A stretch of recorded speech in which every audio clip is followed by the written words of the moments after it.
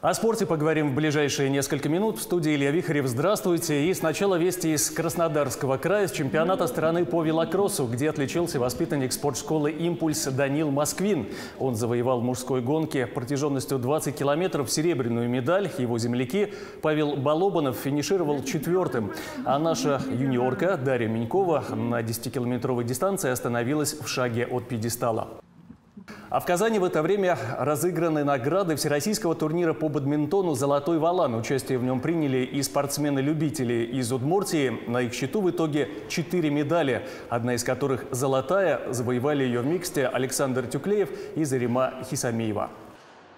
Целую россыпь наград привезли воспитанники Воткинской спортшколы наставников Виктора и Александра Бобровых на межрегиональный турнир по спортивной борьбе «Грэплинг» в Перми. Они завоевали 33 медали. Только вот занять первое общекомандное место им не удалось.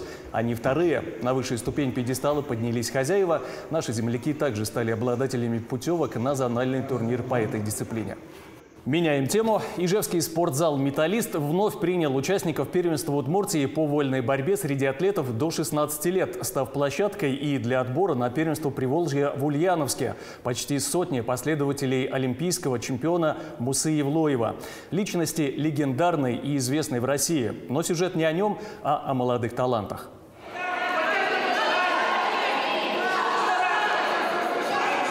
Удержаться от эмоций, когда на ковре борется твой воспитанник, тяжело. Крики, наставления, слова поддержки не утихали в зале. Пожалуй, только один из наставников, Александр Каретин, был молчалив. Говорит, уже научился сдерживаться. Изначально, когда только начинал работать, очень эмоционально на это как бы реагировал. Сейчас уже с опытом все это приходит, и как-то уже поспокойнее к этому относишься, более рассудительно. И Чем мотивируем? Как мотивируем ребят? Ну, каждому свой подход нужен. Потому как вид спорта индивидуальный.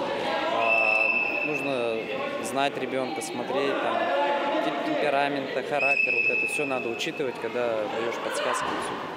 Наставления были на тренировках. Сейчас время показывать, чему научился и в плане техники и тактики, и, конечно, психологии. И живчанин Иван Быков отработал на ковре спокойно, выиграв в весе 60 килограммов золота и путевку на зональный старт. Говорит, уверен был в победе и шел к ней целенаправленно.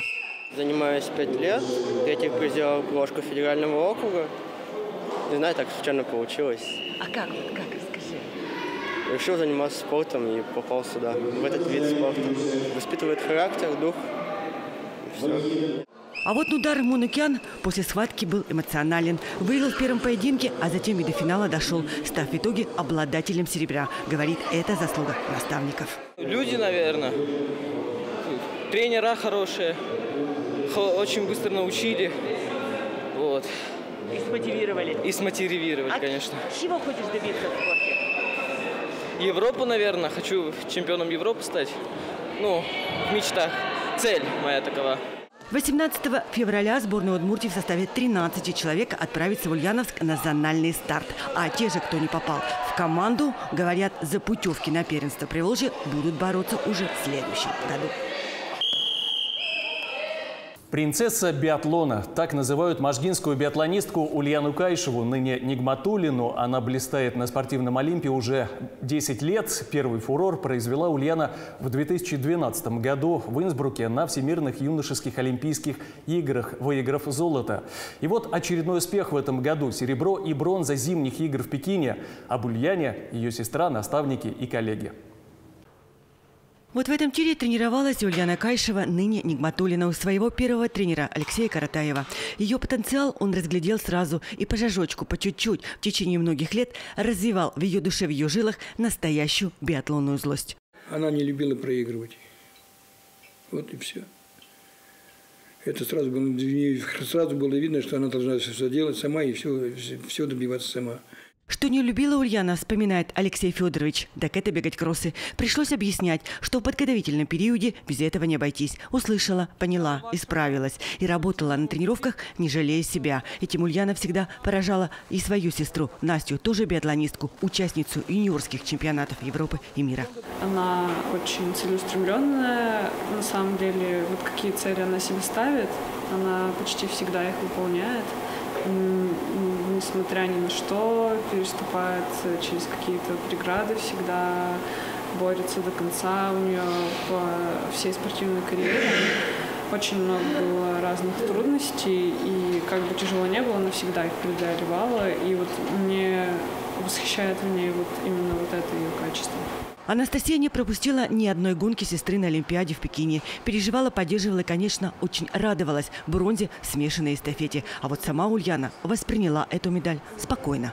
Она как бы вообще очень спокойно отреагировала, настолько спокойно, как будто бы это там даже чемпионат России, что-то такое, очень спокойные эмоции были. Вот она мне сказала, что еще не осознает, что было очень тяжело.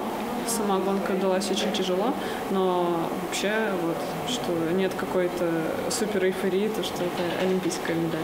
А как болели в спортивной школе, Сергей Перевозчиков голос сорвал. В этих стенах Ульяна провела 4 года, учась в школе-интернате. И всем тренерам, воспитателям, школьным учителям она запомнилась только с лучшей стороны. И они все вспоминают про Ульяну Кайшеву, что это Ульяна Кайшева была такой замечательный человек, который проблем их никаких не создавал. И вокруг нее, ну вот я говорю, что она учеба, проблемы, все исчезали, она вовремя приезжала, все сдавала, если что-то надо, она решала эти вопросы до конца. Поэтому, ну, Ульяна, она такой ответственный человек, я думаю, что она, она в любой отрасли сможет себя проявить. 19 февраля Ульяна примет участие в своей очередной олимпийской гонке – масс-старте. На этом все. Занимайтесь спортом и будьте здоровы.